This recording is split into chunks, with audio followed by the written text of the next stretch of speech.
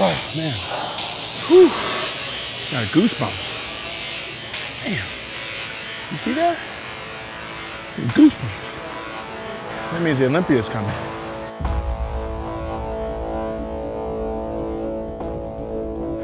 I ain't gonna let no one outwork me, especially this year. I guess that's all we train for right now is to be your last name called.